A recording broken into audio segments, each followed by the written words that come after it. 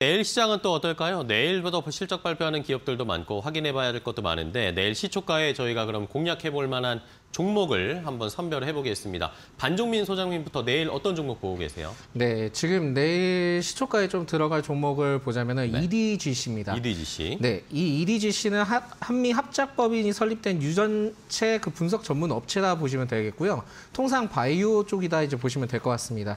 사실 이 기업이 그 최근에 그 9월에 이슈가 났던 부분들이 온코캐치 그 임상 결과 발표를 했던 부분들이 있거든요. 네. 이 부분들이 뭐 간단하게 설명을 드리자 면은 그 대장암 예측 모델 진단 정확도가 0.98이었습니다. 즉, 1 가까이 되면은 굉장히 정확도가 높다라는 부분들인데 일단 이 부분에서 대장암 관련된 부분들과 또한 폐암에 대한 예측 모델 정확도가 거의 1 가까이 나온 부분들이 있기 때문에 이 부분들을 봤을 때는 그래도 어, 좀 크게 주목을 해볼 수 있는 기업이다 좀 보실 수 있겠고요. 사실상 뭐 내년 상반기 때 이 부분들을 상용화할 예정이기 때문에 내년 상반기까지도 같이 상승할 수 있는 부분들이 있다라 말씀을 드리겠습니다. 사실 이 부분들보다는 최근에 어, 전거래일이죠. 전거래일에 코로나 4만 명 정도 이상 확진자가 나온 부분들이 있는데 그만큼 지금 코로나 이슈가 굉장히 좀 부각되는 부분들이 있습니다. 이 EDGC도 어떻게 보면 진단 키트 관련된 부분들을 좀 예전에 그 어, 수출 허가나 이런 부분들이 있었기 때문에 이 부분들을 또 동시에 지켜보는 부분들이 낫겠다 말씀드릴 수 있겠고요. 기술적인 분석으로 봤을 때는 지금 한 그 10월 20일 때 윗꼬리가 달면서 나, 내려왔던 부분들이 있기는 하지만 계속 이 부분들을 2,400원, 500원 돌파를 하려는 시도를 계속 보여주고 있기 때문에 한 번 정도는 2,500원대를 돌파할 수 있다. 이게 아마 내일이나 내일 모레 될 수 있는 부분들을 좀 예측을 하고 있습니다. 그만큼 2,500원까지 좀 목표가를 바라보시게 된다면 그래도 단기적인 trading으로 수익을 좀 보실 수 있지 않을까라는 말씀을 드리겠습니다. 그래서 매수가는 시초가에 들어가시는 게 맞고요. 그리고 목표가는 2,500원 좀 아래에 2,400원으로 지정을 했고 손절가는 1,800원 이하로 지정을 했습니다. 알겠습니다. 자, EDGC를 내일 시초가에 한번 공략해보자. 반 소장님이 이야기해 주었고 이번에 송가람 전문가님은 어떤 종목 내일 보고 계세요? 네, 저는 내일 볼 종목으로 대모를 가지고 왔습니다. 네. 이 대모 같은 경우에 굴삭기 어태치먼트를 개발하는 회사입니다. 이 개발 품목 같은 경우에 유압 브레이커 그리고 퀵커플러 등이 있는데요. 이런 것들은 이제 전쟁이 난 국가에 재건을 하는데 필수적인 품목이기 때문에 이런 것들이 다시금 부각을 받을 수가 있겠다라는 점을 말씀드리겠습니다.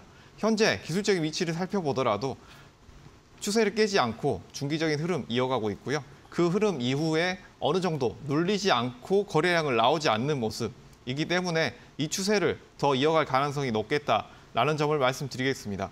그리고 현재 전쟁 이슈가 아직 끝나지 않은 점 이런 점은 굉장히 긍정적으로 받아들일 수가 있는데요. 우리가 주가를 바라볼 때 그 주가의 흐름 어떤 기대감이 끝나지 않았다면 그 기대감이 계속적으로 이어질 수 있겠다라는 점이 있을 수가 있기 때문에 아직 휴전이 완성되고 재건이 완성되지 않는다면 그 기대감 꾸준히 이어갈 수 있겠다라는 점을 말씀드리겠습니다. 현재 매수가는 내일 시초가 충분히 눌린 상태에서 접근해 볼 만한 위치고요. 목표가는 단기로는 13,700원, 손절가는 9,500원 생각하시고 접근하시면 좋을 것 같습니다. 알겠습니다. 자, 내일 데모도 한번 저희 살펴보도록 하겠고요. 반 소장님 내일 살펴볼 종목 하나 더 확인해 보겠습니다. 네, 먼저 말씀드리자면 아까 EDGC는 어, 사실 그 목표가가 2,500원이고 손절가 1,950원으로 좀 정정하겠습니다. 네. 이 부분에 대해서는 좀 참고 바라시 겠고요. 어, 두 번째로는 국유재지입니다. 이 국유재지는 각종 지류 제조 및 판매 사업을 영위하는 기업입니다.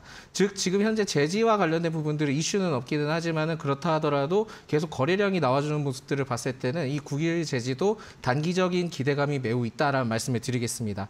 어, 최근에 그 국유재지의 자회사인 그 국일그래핀이 있습니다. 이 국일 그래핀이 신, 그 그래핀 시제품을 출시를 한다라는 부분들이 있습니다.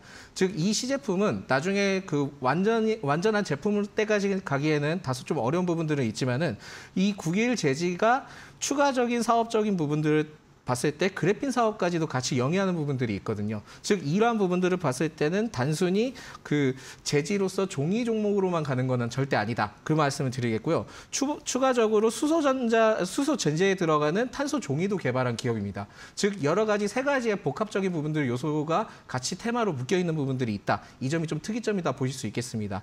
그리고 11월 24일이죠. 그때 자원 재활용법 시행 규칙으로 인해서 운동장, 체육관 등 일회, 일회용 종이컵이 무상으로 금지가 됩니다. 즉 이 부분들을 봤을 때는 앞으로 무상 금지가 되기 때문에 종이와 관련된 부분들을 사용을 안 할 수가 없고 그 부분에서 수요가 급증을 하면서 공급에 대한 비용도 발생을 할 거거든요. 이 공급에 대한 비용이 증가를 하게 되면 이 국유 제지도 역시나 매출적인 부분들이 크게 상승할 수 있는 부분들이 된다라는 말씀을 드리겠습니다. 그래서 종이와 관련된 법적인 부분들과 그리고 수소전지 그리고 그래핀 관련된 부분들이 복합적으로 연결이 되어 있기 때문에 이 국유 제지는 단기적인 부분들 이슈를 통해서도 한 번 정도 2,400원까지는 무난하게 한 번 터치를 하지 않을까 바라보고 있습니다. 그전 거래일과 전전 전 거래일이죠. 3일 전에 거래일 때도 거래량이 나온 부분들이 있기 때문에 어, 시초가로 들어 가시게 된다면 그렇게 나쁘지는 않을 겁니다. 그래서 목표가는 짧게 2,400원 그리고 손절가는 1,800원 이하로 지정을 했습니다. 네, 좋습니다. 자, 내일 살펴볼 종목들 확인해봤고 조금 전에 또 KB금융이 실적 발표했습니다. KB금융 오늘 1.3% 상승하면서 거래를 마감했는데요. 매출은 일단 32조 7,475억 원 정도 나왔습니다. 이러면서 전년 동기 대비해서 거의 100% 가까이 증가했는데 영업이익은 1조 6천억 원 정도, 1조 1조 5,989억 원, 전년 대비해서 10% 줄었고요. 시장의 예상의 컨센서스도 하회했습니다. 1조 8천억 원 정도 예상했는데 KB금융의 3분기 영업이익은 약간은 실적 기대에 못 미치는 수준이 나왔습니다. 내일 주가 어떻게 반영될지도 한번 살펴보셔야 되겠습니다. 자, 오늘 두 분의 전문가님 좋은 종목 소개해 주셔서 너무 감사하고요. 김도훈 캐스터도 수고 많으셨습니다. 오늘 함께해 주셔서 감사하고 다음 시간에 뵙겠습니다. 감사합니다. 고맙습니다.